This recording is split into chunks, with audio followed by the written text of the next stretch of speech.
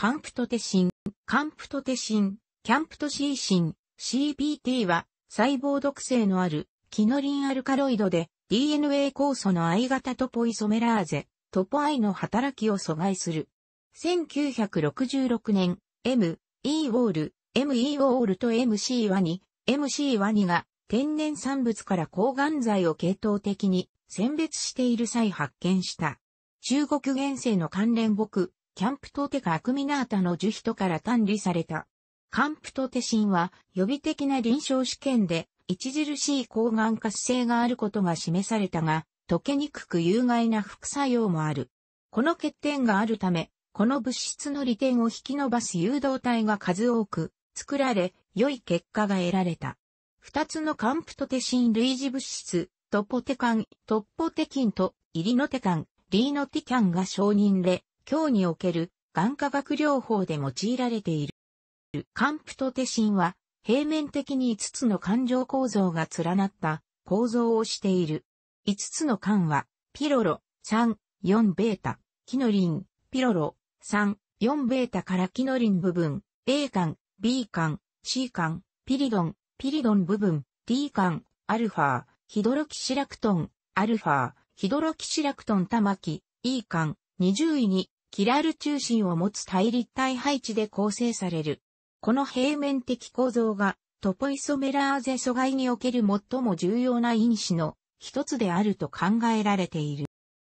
カンプトテシンはトポ IDNA 複合体、共有結合複合体と結合資産者複合体、3位、複合体となり、それによって安定化する。これが DNA の再結合反応を妨げ、その結果 DNA の損傷がアポトーシスを引き起こす。カンプトテシンはトポアイと DNA に水素結合によって結合する。構造の中で最も重要な部分は E 間で、この部分は酵素の3つの部分と相互作用する。20位のヒドロキシモトが酵素の533番目のアスパラギン酸、アスプ533の即差と水素結合を形成する。キラル炭素の立体配置が体であることが重要である。なぜなら体は不活性であるからである。ラクトンは364番目のアルギニン、アーグ364のアミノ元と2つの水素結合を形成する。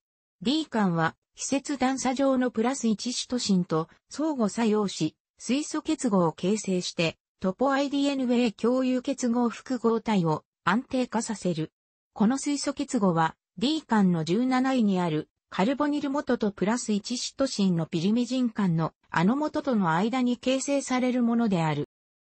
カンプトテシンは弱酸であるため、ラクトン間は加水分解によって開管しやすい。開管型は不活性型であるため、トポアイを阻害するためには管を閉じなければならない。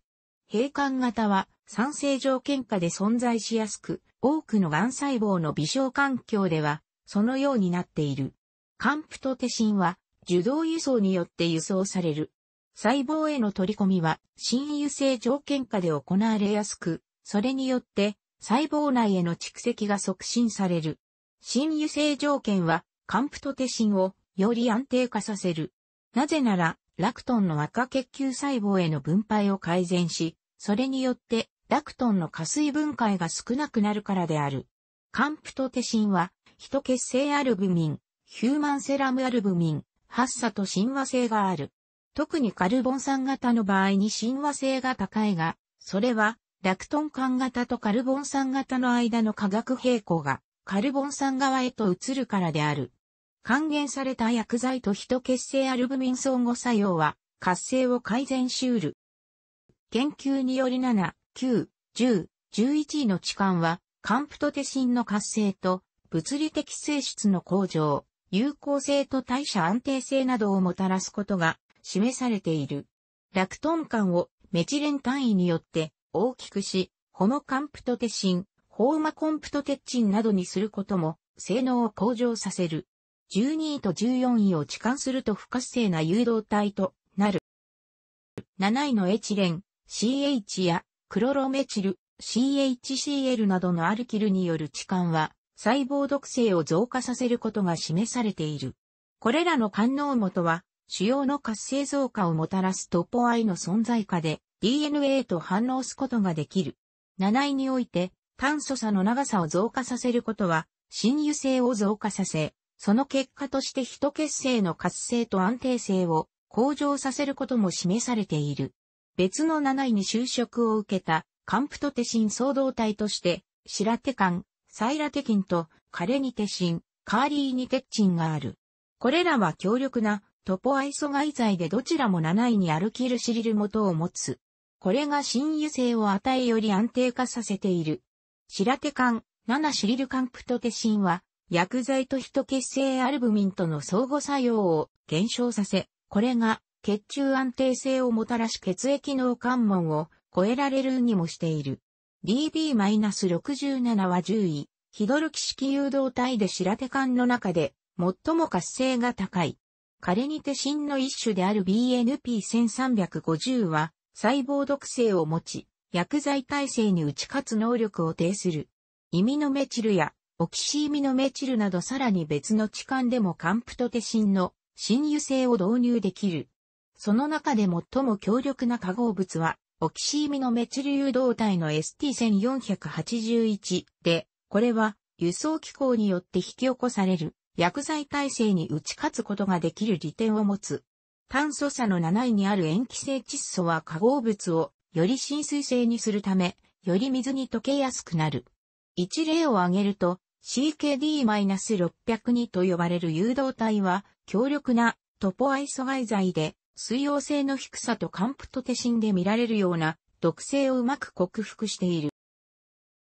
かなり大きな活性が、アミノ、NH、ニトロ、ノー、ブロモ、BR、シューソ、クロロ、CL、塩素のような電子球引性元を9位と10位に、ヒドロキシ元を10位か11位に置くことにより、実現できる。ところが、これらの化合物は、比較的水溶液に溶けにくく、管理が難しい。10位と11位両方のメットキシ元は同時に、不活性化を導く。6印間のカンプトテシン類似物質は、より強力になることが示されている。例えば、メチレンジオキシ元、または、エチレンジオキシ元が10位と11位に結合したものは、5印間、または6印間を形成するが、これはより水溶性が高い誘導体となり、効果が強くなる。またエチレンジオキシチカン体は、メチレンジオキシチカン体よりも効果は少ないことが示されている。その理由は、エチレンジオキシチカン体と酵素との間にできる、望ましくない立体的相互作用のためである。9位のアミノ元やクロロ元、あるいは7位のクロロメチル元に10、11、メチレンジオキシ類似物質を付加すると、細胞毒性を増加させるが、水溶性は低下する。10、11メチレンジオキシ、またはエチレンジオキシ類似物質をよく水に溶けるようにする。いい方法は、7位に水溶性置換機を導入することである。ルートテカン、ラートテキンは以下のものを要求する。7位の4、メチルピペラジのマイナスメチレンを10、11エチレンジオキシ、類似物質にすると非常に強力になることが臨床的研究で示されている。7位と9位の間にも10位と11位と同様に間が形成される。これは水溶性誘導体を作る新たな機械を生み出す。これらの6因間カンプトテシンは、電子球引き性元が11位に、メチル元、またはアミノ元が10位に置かれた場合に、最も活性が高くなる。エキサテカン、草テキンは6因間カンプトテシンの一例で、これは7位と9位に6因間が、10位がメチル元に、11位がフルオロ元に置換されたものである。これがトポテカン、トッポテキンよりも水溶性で最も強力である。C 管と D 管は高腫瘍活性において欠かせない役割を持っている。他の細胞毒性分析において、いずれの位置の置換も元の化合物より効果が減少する。E 管の構造的変化の多くは、カンプトテシン活性を失わせる。有効な置換として考えられるのは、ヒドロキシ元を塩素、CL、フッ素、F、シュー素、BR のいずれかと置換するというものである。というのもこれらの分極率、ポーラーイザビラティはいずれも酵素複合体を安定化させるのに十分だからである。